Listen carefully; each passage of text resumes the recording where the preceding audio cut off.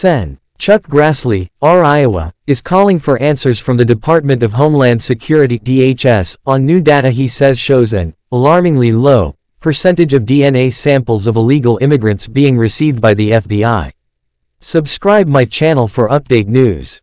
Grassley, in a letter to Customs and Border Protection CBP Acting Commissioner Troy Miller and Homeland Security Secretary Alejandro Mayorkas, cites whistleblower data his office has received related to CBP DNA collection practices of immigrants arriving at the northern and southern borders.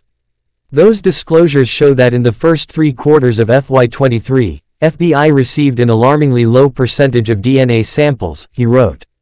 The statistics he cites show that in Q1 of FY23, there were 865,333 migrant encounters, and 347,231 DNA samples were received by the FBI, about 40%.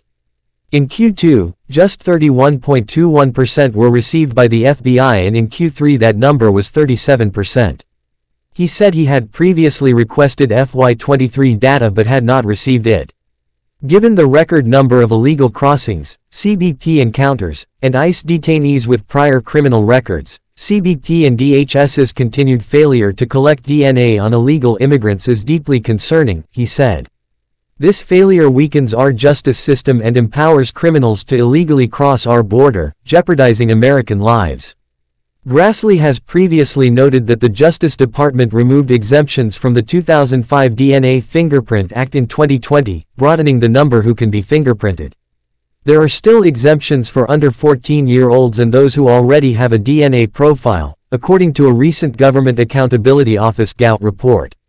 However, the government has also been dealing with a shortage of test kits, and Republicans recently highlighted a reported 15-month backlog on DNA testing. Grassley cites a number of reports that show examples of crimes illegal immigrants have been connected to via DNA matches, including unsolved cases, even with what he called insufficient DNA efforts by federal authorities.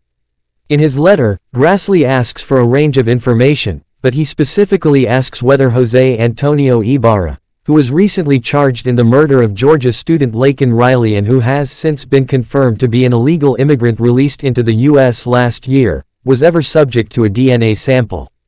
He also requests data for Q4 and for FY24 so far, as well as additional plans to implement the DNA Fingerprint Act.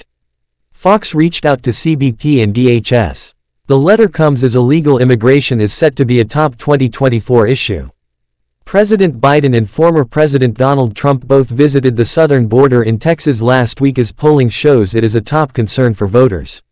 CBP sources tell Fox News that there have been more than 21,000 migrant encounters in the past 72 hours, with Tucson sector being the busiest with more than 5,400. It's in line with traditional surges as numbers increase as the spring arrives, but the numbers suggest it is going to be a significant surge. Thanks for watching my video. Please subscribe my channel and press the bell icon for more information news and also share my video with your friends. Thank you.